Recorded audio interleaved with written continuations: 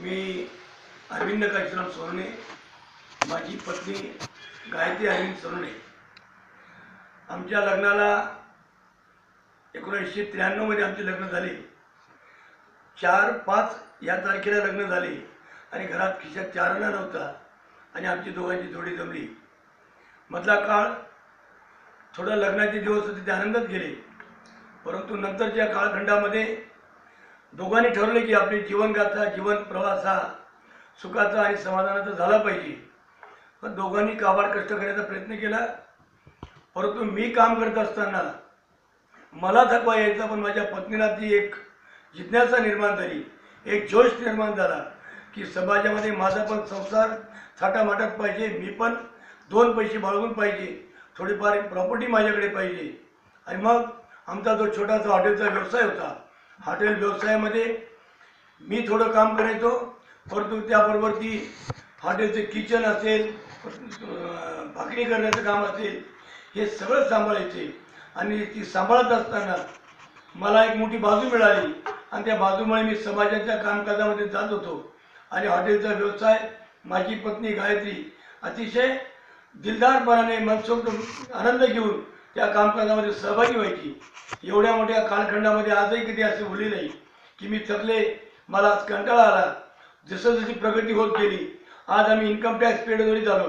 परंतु आजही तिच्या कामाचा जोश कामाची उत्साह तो आजही तसाच आहे. मी भाग्यवान समजतो की माझ्या पत्नीने जर मला त्या काळात साथ दिली नसती तर मी आज एका हॉटेलचा वेटर म्हणून कामकाज करायला राहिलो असतो. कदाचित दुसरीकडे मी कामाला गेलो असतो. छोट्याशा परिस्थितीतून आज ही जी परिस्थिती निर्माण झाली या नवदुर्गेमुळे मला प्राप्त झाली. ही नवदुर्गा माझ्या नशिबात झाली. या नवदुर्गेने आपली जबाबदारी स्वीकारली. विशेष करून काम करत असताना कधी माहेरचा रस्ता पकडला नाही कधी मैत्रिणीचा रस्ता पकडला नाही मला कधी नातेवाईकांकडे कडे जायचं आहे असा कधी हेका पुरवला नाही. आपलं काम आपला व्यवसाय हेच सर्वस्व आहे. पंचवीस तीस वर्षापर्यंत सातत्याने काम करत असताना कोणतीही तारभोग मनामध्ये न ठेवता फक्त चित्त आणि चिकाटी मनाची धरून विकास समृद्धी संपत्ती आणि येणाऱ्या संतांचं सुख सौभाग्य संततीला समाधान कसं मिळेल?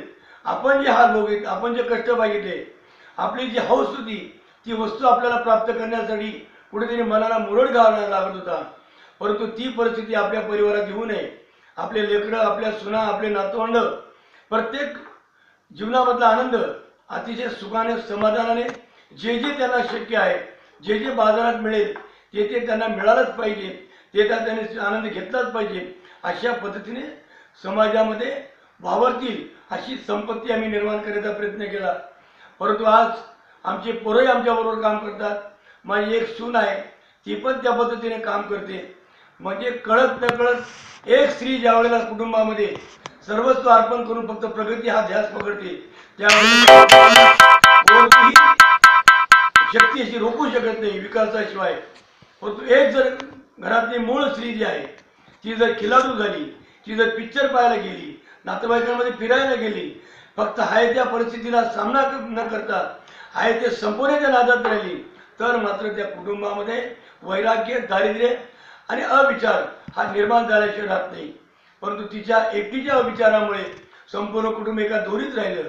या नवदुर्गेला मी व माझा परिवार सदैव आदरानेच पाहतो. आणि तिच्या त्या कधी कधी पत्नी ही चिडत असते. कधी कधी पत्नीला राग येतो. तो राग सुद्धा समजून घ्यायचा असतो. कारण रोगावरती फार मोठा इलाज असतो. आम्ही कधी कधी ते कडू औषध सुद्धा पचून घेतो.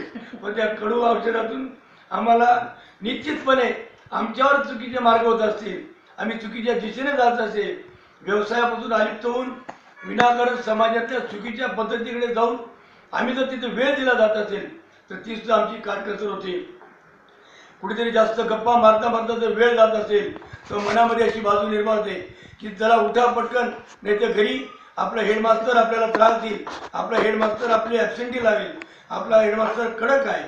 परंतु पत्नी मी तर नेहमी माझ्या मित्रांनाच सुद्धा सांगतो शंभर एक पाऊल पत्नीच्या मागे चला तुमचा संसार शंभर पावलं पुढे चालेल. आणि या एका उद्देशानं मी जर एक पाऊल मागे चाललो परंतु माझ्या पत्नीमुळे माझा संसार शंभर पावलं पुढे चालतो. असं आम्हा सगळ्यांना या परिवारातल्या माझ्या नातेवाईकांना माझ्या मित्रपरिवाराला सगळ्यांना ज्या ज्या पद्धतीचं आपुलकीचं प्रेम आहे ते या नवदुर्गेपासून मिळते.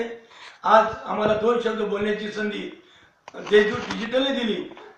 त्याबद्दल मी डिजिटल देशदूतचं खास करून आभार मानतो. असंच प्रत्येकाच्या नशिबी प्रत्येकाचा जीवनाचा जोडा अशाच पद्धतीने राहो अशी आई जगदंबेची प्रार्थना करतो. इथे थांबतो. जय जय महाराज